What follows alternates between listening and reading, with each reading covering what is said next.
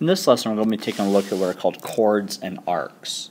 So first we need some definitions and theorems. There's going to be a lot of theorems in this lesson and each of them does come with a converse.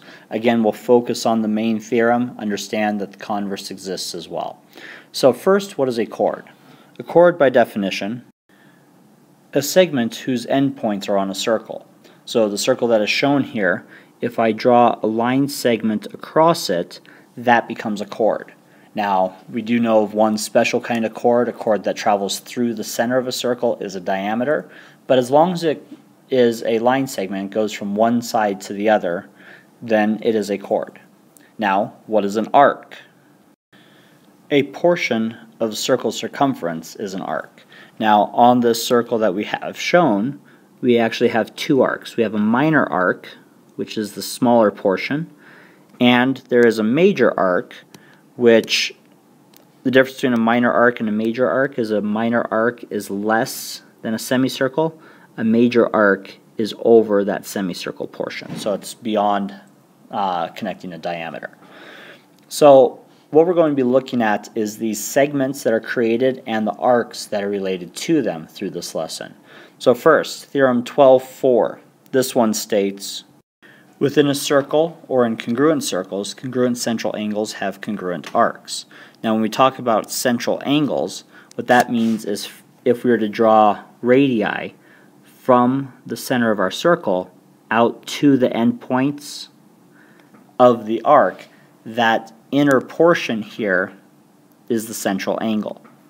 So if I have two of these in the same circle or two of them in congruent circles, then the arcs that they trace out, that minor arc, will be congruent as well. Now again, this one does have a converse, so if the, the arcs are congruent, then that means that the central angles forming them would be congruent as well. Theorem 12.5. Within a circle or congruent circles, congruent central angles have congruent chords.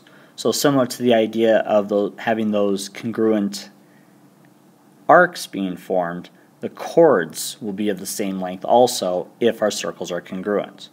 The converse to this, within circle or congruent circles, congruent chords have congruent central angles. Last, at this point, let's look at Theorem 12.6. Within a circle or congruent circles, congruent chords have congruent arcs. So in the diagram that I already have drawn, you see one chord along with its arc, if I were to come in and put in a second chord, say here, that is of the same length as the original, then the arc that is formed for it will be congruent. Converse, if you have congruent arcs, then they're formed by congruent chords. This will leave us just one more theorem before we start looking at some problems associated with them. Theorem 12.7 tells us Within a circle or congruent circles, chords equidistant from the center have, or centers are congruent. Then the converse, within a circle or in congruent circles, congruent chords are equidistant from the center or centers, depending on if we're talking one circle or multiple.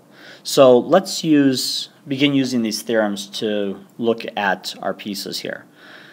In the diagram shown, we have a circle with two chords drawn and partial radii put to them. So we can see that here we have a length of 16 and then it bisects this chord into two segments of 18. Then on the right, again, we have a uh, congruent or perpendicular section and a chord with a total length of 36. Well, because 18 plus 18 is 36, these chords are congruent to one another. According to theorem 12.7, if they're congruent, then they must be equidistant from the center. If we put these pieces together, then it's going to tell us that x is also equal to 16 because of that relationship that exists. And now applying the ideas from previous theorems on the last slide, we would know also that the arc minor arc formed here with these two segments of 18 is congruent to the minor arc formed by this 36. also that the angles that come out from the center with radii to the endpoints of the arc, those angles in the middle are congruent as well. So we can start to put a lot of these ideas together in the one basic shape. Now, we still have a few more theorems to go over in this lesson. Let's begin with Theorem 12.8. Theorem 12.8 tells us in a circle, if a diameter is perpendicular to a chord, then it bisects that chord. So we can start to find some new relationships here, similar to the ones we found when we were working with triangles. But let's continue on. Theorem 12.9 states in a circle, if a diameter bisects a chord, that itself is not a diameter, then is perpendicular to that chord. So this is basically the converse of theorem 12.8. And our last theorem for this lesson is going to be theorem 12.10, which tells us in a circle, the perpendicular bisector of a chord contains the center of the circle.